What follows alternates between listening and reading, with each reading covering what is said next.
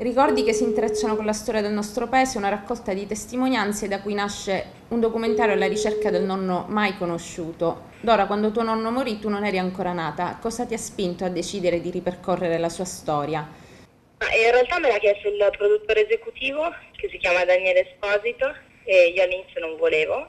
E poi ho pensato insomma, che fosse doveroso sia nei confronti della mia famiglia che doveroso come cittadina, diciamo. Questo documentario raccoglie numerose testimonianze. Chi hai intervistato? Ho intervistato il procuratore Caselli, eh, il giudice Spataro, il generale Secchi, Attilio Bolzoni, Franco Latorre, il mio padre e le mie zie, i miei cugini e il giudice Turone. Si tratta di una produzione nata dal basso?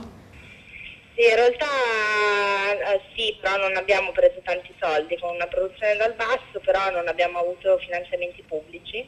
Il Ministero non ha ritenuto di importanza culturale nazionale, quindi è un documentario prodotto da privati cittadini che sentivano di dover lasciare ai loro figli diciamo, questa memoria. Qual era l'idea che avevi di tuo nonno quando eri bambina? ma tipo che fosse morto in guerra fondamentalmente. Poi guerra era vera, però non, non avevo la percezione di quello che era successo. E quando hai iniziato a capire realmente come erano andate le cose?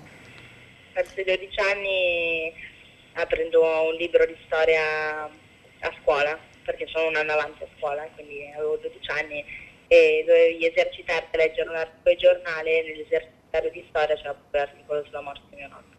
E a chi hai posto le prime domande? a mia madre. È stato ingombrante per te portare il cognome di un uomo che ha vissuto in prima linea contro il crimine?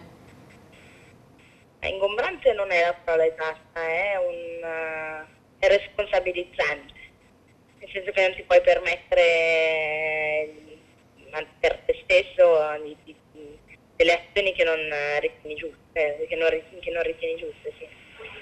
Anche prendere una multa sul tram. Nel giorno della commemorazione del generale molte istituzioni hanno ricordato l'estrema solitudine in cui venne lasciato. Non è un mistero che non pochi palazzi del potere gli avevano manifestato ostilità. Lo stesso procuratore Caselli ha detto dalla Chiesa era fumo negli occhi per alcuni parti politiche. Sì, è stato un omicidio di Stato, quello di mio nonno.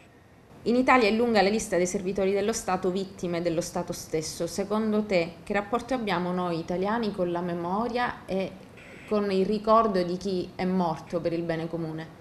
Pessimo, abbiamo veramente un ricordo pessimo, nel senso che se ce ne ricordassimo quotidianamente, non solamente durante le commemorazioni degli anniversari, forse il nostro paese non sarebbe ridotto così ora.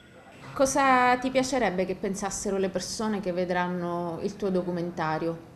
Spero che trovino uno stimolo per, per agire più nel giusto. E se potessi incontrare anche per un solo istante tuo nonno, che cosa gli diresti oggi? Per un secondo gli direi grazie, se avessi più tempo gli, gli chiederei degli insegnamenti.